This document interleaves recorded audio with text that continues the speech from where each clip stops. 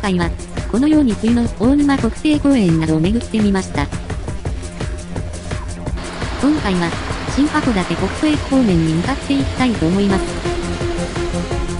こちらは、白鳥台セバットという野鳥などを鑑賞できるスポットです。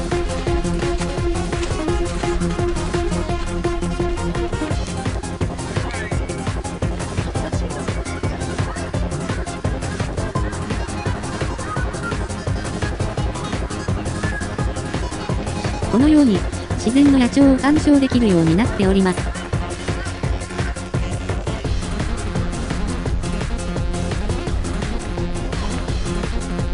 それでは、これから新函館北斗駅に向かいます。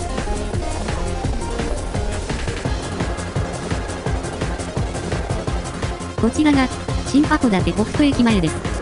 まだまだ再開発は進んでいないが、今後開発されるだろうと思います。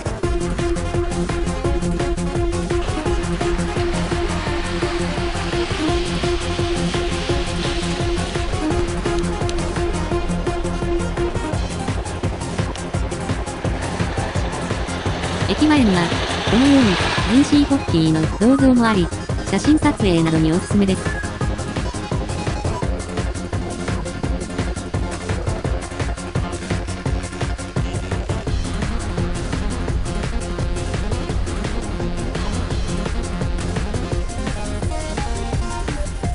なお、かつて、カール・レーモンというファンの工場がこちらにあったようですね。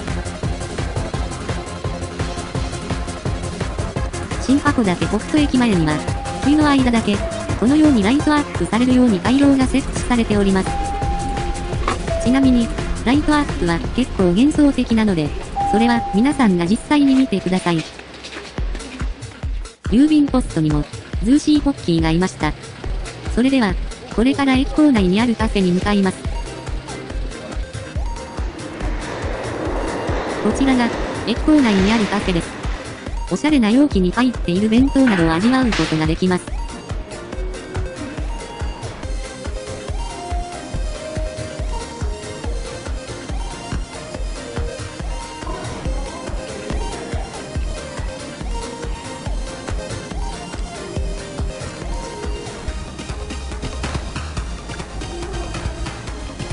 デパ地下の弁当のような美味しさ、旨味。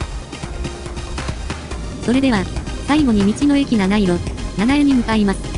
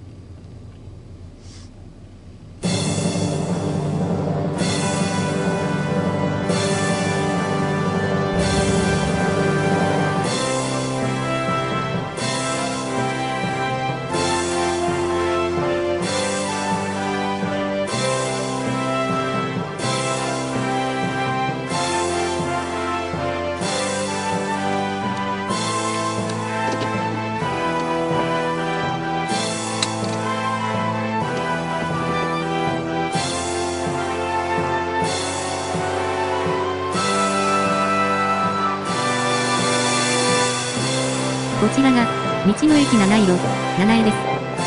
道の駅には、お土産や、複数のフードコートがあります。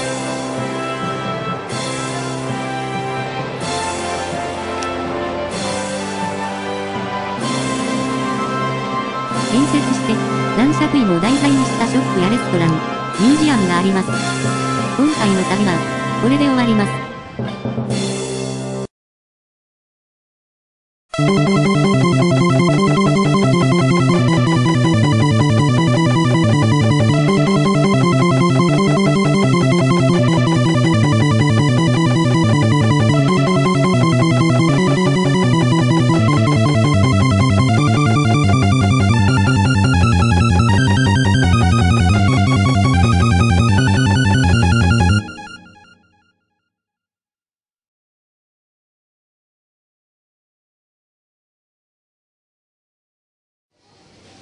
興味を持った方は、チャンネル登録をよろしくお願いします。